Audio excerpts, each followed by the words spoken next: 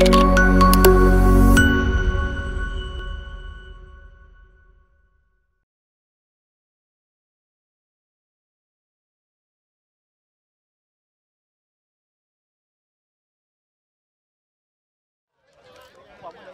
Ghiền Mì Gõ Để không bỏ lỡ những video hấp dẫn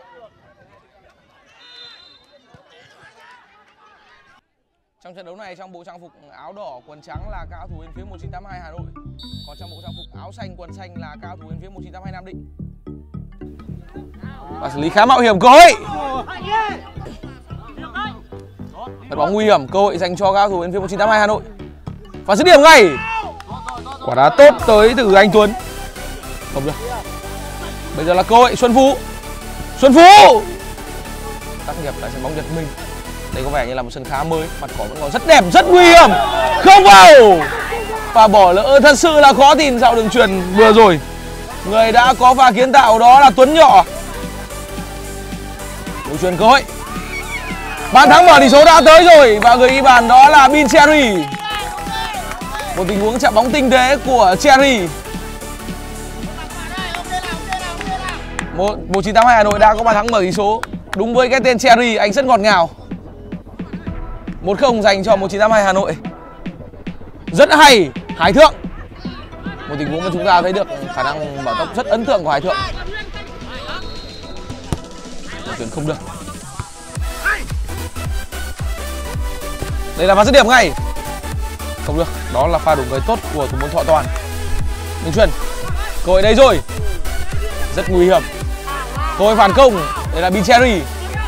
Chỉ cũng là lợi thế vẫn còn cơ đấy rồi Micheri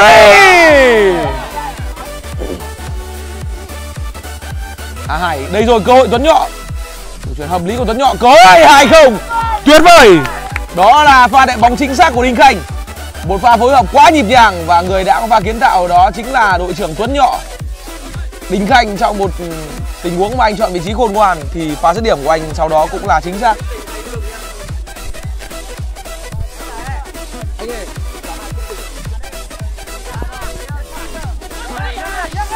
Bóng mà thủ môn Mạnh Toàn đã quyết định ờ, là đi Cherry. Tình huống trọng tài xác định không phạm lỗi. Tuấn Linh và dứt điểm ngay. Cơ hội không thành công. Tập trung nào Tú ơi, tập trung nào.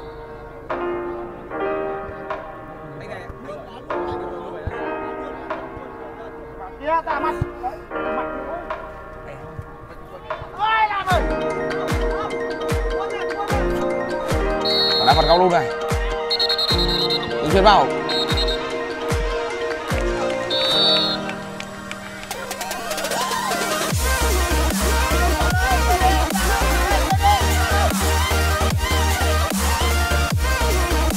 Đang là các thủ áo xanh và bỏ lỡ tới từ quốc bình.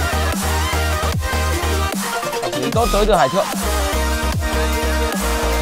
Quả đá không thành công, đó không phải là đường truyền Quả đá biên.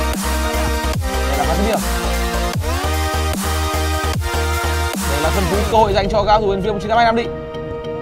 Quả đá ngày tới từ số 22 nhưng bóng đi ra ngoài. Không thành công nhưng vẫn còn. Đây là từ đá phạt đường chuyền. Đánh đầu, không được. Đây là quả sút đạn tới từ sân Phú. Vẫn còn thêm một cú đá nữa. Rất lộn xộn cối, không vào. Đường chuyền hợp lý. Cối. Không thành công.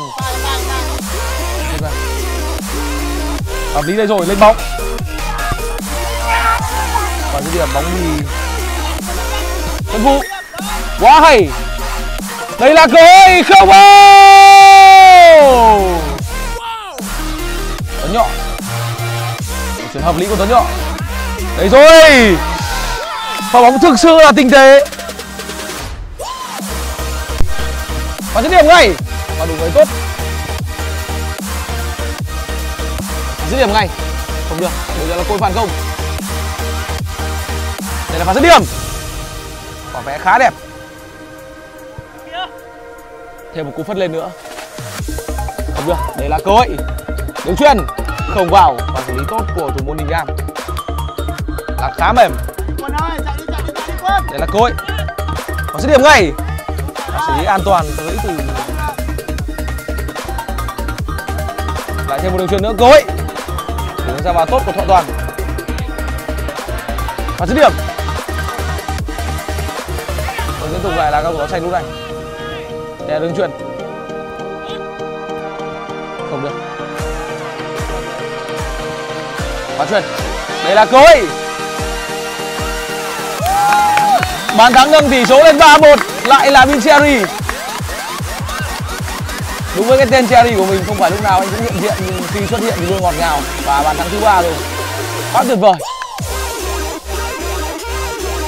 Trận đấu ngày hôm nay thì Vincherry hoạt động có lẽ rằng ờ, anh cũng ờ, không cần hoạt động quá nhiều nhưng thực sự là quả đá phạt này là đường lên.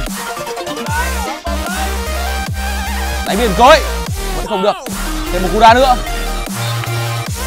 Đang là cao thủ kia bóng áo xanh.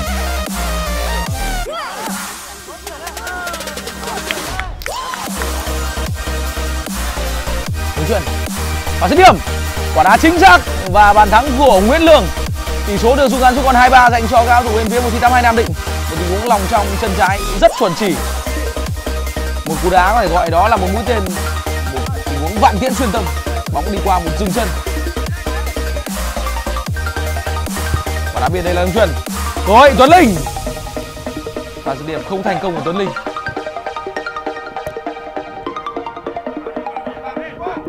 Và dứt điểm